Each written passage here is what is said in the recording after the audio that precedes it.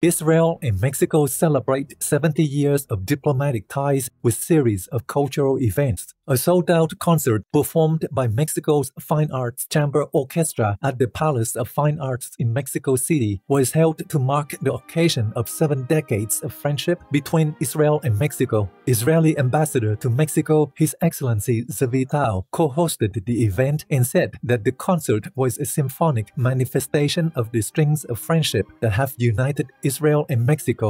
In addition, an exhibition showcasing the works of five Israeli artists was unveiled at the Museo de la Ciudad del Querétaro in central Mexico.